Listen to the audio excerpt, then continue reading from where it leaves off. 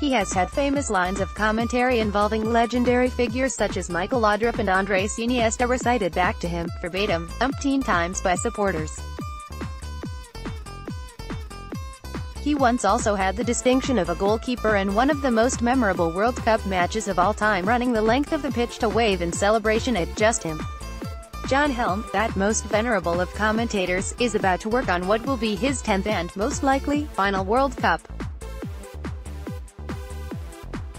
Russia and a possible quarter-final date for England would be a fitting way to bow out for someone who has been at every tournament bar one since 1978. Along the way, Helm has fulfilled all the dreams of the schoolboy left so transfixed, first by the voice of Raymond Glendening on the radio and then the Pathé News images of the 1954 final between West Germany and Hungary. I remember thinking, what a job Raymond Glendening has, he recalls. Same with Eamonn Andrews on the boxing. I was fascinated by radio, TV wasn't really something I thought about. It just sort of happened, regardless of how Helm arrived on our screens, the switch from BBC Radio in the early 80s was to prove an inspired one. He had already carved out a fine reputation on the airwaves, so much so he covered the Argentina tournament as the Beebs network football producer. But television really suited Helm, as can be seen from a career that includes turning his hand to all manner of sports. The World Cup, though, has a special place in his affections. I get the same excitement and sense of anticipation before a World Cup as I always have, the 75-year-old told the Yorkshire Post. There is something special about a World Cup and its ability to throw up a story. Helm has been at the heart of those tales, from breaking the Willie Johnston failed drug test that led to the Scotland winger being sent home in disgrace from the 1978 finals through to enjoying unique access to the Cameroon team that stunned the world by reaching the quarter-finals 12 years later. That 1990 World Cup was made for me by Roger Milla, recalls the Yorkshireman, who since 2002 has commentated for FIFA at the finals. I did every match because Cameroon were the story and I had fantastic access, more by accident than design I should say. I went to Varese, just outside Milan, for Cameroon's press day. Typical ITV, though, as they had got the wrong day. There was only me there so I didn't think I would be let in, but they did and I got an exclusive with Cyrille Makanaky. Roger Milla was another. He didn't speak English but he spoke in French, while we walked in the grounds.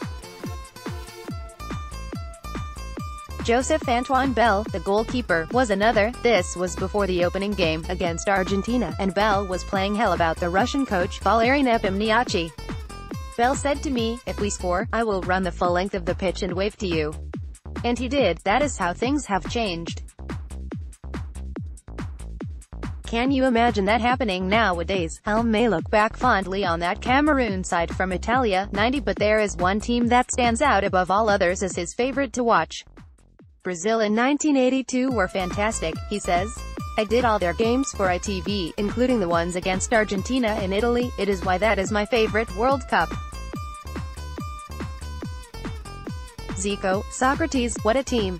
I was fortunate to be allocated Brazil but it was the only time I maybe wasn't as professional as I should have been. I really wanted Brazil to win the World Cup.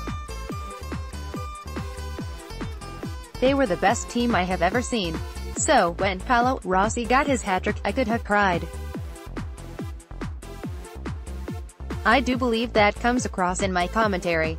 Helm may reproach himself over displaying disappointment at Brazil's exit in España 82 but his commentary continues to resonate all over the globe. The boy's a genius, is a line that Danish fans still recite to this day, 32 years after Helm captured a wonderful goal by Michael Laudrup with those very words. For a time, the slogan also featured on a range of t-shirts. Another that quickly took on a life of its own came after Iniesta's late, late winner in the 2010 final. Surely now, he has just won the World Cup for Spain, said Helm, who has always believed the fewer the words, the better the impact. With Helm's words set to be broadcast once again to the 170 countries who do not have their own commentary team during this World Cup, chances are another famous line or two will emerge. Either way, his distinctive voice will most likely continue to bring recognition. It can happen in the strangest of places, he laughs.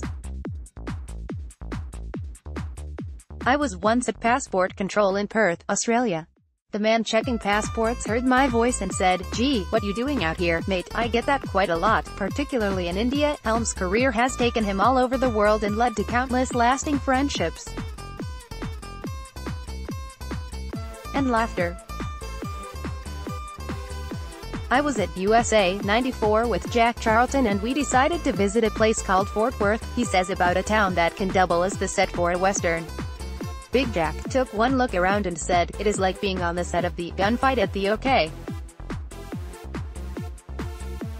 Corral. Less amusing for Helm was missing out on France, 98, as Peter Drury got the nod from ITV instead.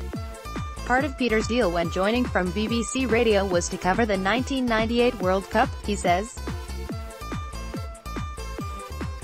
I was disappointed but you couldn't wish to miss out to a nicer man than Peter. I bore no ill to him. The irony is I did the golf in Paris that summer, instead.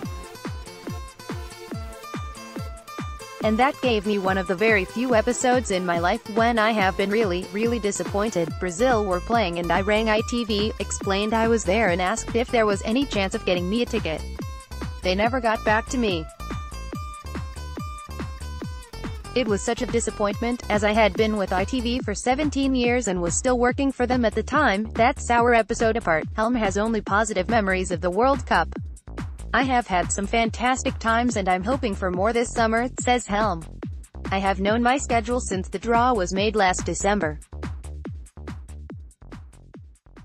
My first four games involve four past winners and then, if England do well, I get them in the quarter-finals which will probably be my last ever match in a World Cup, as I will be 80 by the time Qatar comes round.